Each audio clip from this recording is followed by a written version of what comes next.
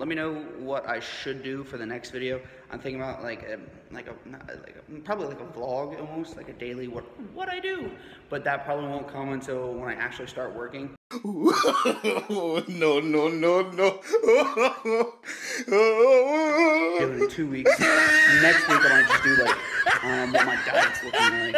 I'll probably just do that. Um, but other than that, guys. Uh, I mean, it's nice to be back, I guess. I mean, it's nice to be back, I guess. I mean, it's nice to be back.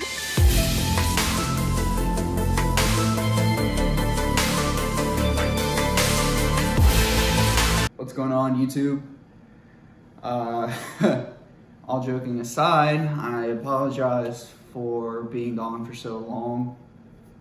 Uh, I would say that a lot has happened, but nothing really has gone on because of state of the world we're in right now. Um, I've just been looking after my two fur babies. You might hear them playing or walking around. Uh, so the reason why I haven't made a YouTube video in a while, nine months, um, is I just didn't have anything in my mind worthy to make a YouTube video on. Plus, I just didn't, you know, laziness, didn't feel like doing it that quarantine like really hit me hard. That quarantine laziness. Uh, you know, gym got shut down. Didn't want to work out all at home. Tried home workouts. You know, every so often. That was a failure. um, but now I, I, got the spark back. Uh, I'm actually doing this video right now. I've already got the video after this made out. Um, it's all, you know, edited and whatnot. Just gotta post it up. Gonna do that in a couple days. Um, it's a Warzone video. So new, the direction I'm taking my channel is it's gonna be um, lifting and video games. Two things I love uh, in life. Um, along with that, I'll still I'll still do like daily up, up not daily updates, just you know periodically, you know, do updates and whatever have you. Uh, I'm looking forward to really bringing out more videos. Um, this Saturday, I'm doing a tryout for the Air Force uh, Call of Duty team, the competitive team. Uh, it's pretty excited for it. I'm gonna go actually live stream on Twitch. Um, if you guys want to check that out, it's going to be 1400, uh, 1400 or 2 p.m. Uh, Central Time. So for East East Coast, that's going to be 1500 or 3 p.m. So that's going to be this Saturday. I'm going to be live streaming it. Hopefully, it's not too you know laggy. Um, I've been practicing for the past couple of weeks. This is the first time actually ever trying to do a CDL type Call of Duty League um, rules. It's to, totally different than normal Call of Duty. Um, highly competitive, very sweaty. Uh, it's gonna be rough, but I'm gonna give it my best shot, see how it goes. If I don't make it, I won't make it. It's not that big of a deal if I don't make it at all. Um, it's worth a shot, you know? Uh, and actually, so the reason why I'm also now streaming on Twitch is I've always wanted to stream ever since Altus. it's always been in the back of my mind. I've just never pulled the trigger on it. Um, I'm doing a lot of research on it, and now that I have my laptop, you know, I'm so I'm got a capture card off of Best Buy, and I'm, how I'm doing it is I'm streaming off the PlayStation. Uh, that's what I'm playing on, and the info from the PlayStation is going into the capture card, and then from the little capture card, it goes into my laptop, which has the stream, so I can talk to y'all and that's what all, all the stream stuff is on the laptop. That way, the PlayStation just has to worry about the PlayStation and the game. So, um, did a little test stream. Um, you can check me out at uh, Taylor underscore, gain, underscore Gains on Twitch.